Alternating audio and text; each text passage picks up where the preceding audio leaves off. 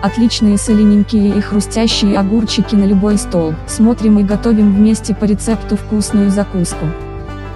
Для приготовления быстрых малосольных огурцов в банке я беру черный перец горошком, свежий укроп, свежие огурчики и банки литровые, еще очень удобно в пол-литровых закатывать, соли можете добавить больше, если вам нравятся более соленые огурчики.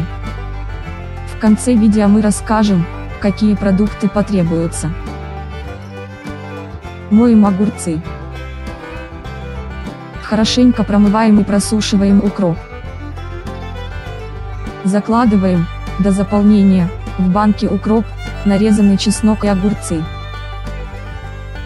Примерно так, отдельно вскипятите воду солью. Кто не подпишется, останется без следующих вкусностей.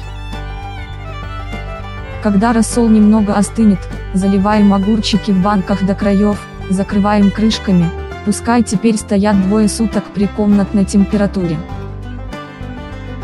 После этого готовые быстрые малосольные огурцы в банке можно хранить в холодильнике.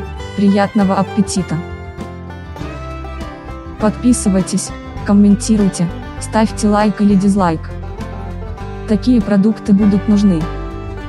Огурцы, 2 килограмма, укроп, 6 штук, чеснок, 10 зубчиков, соль, 3 чайных ложки, количество порций, 10.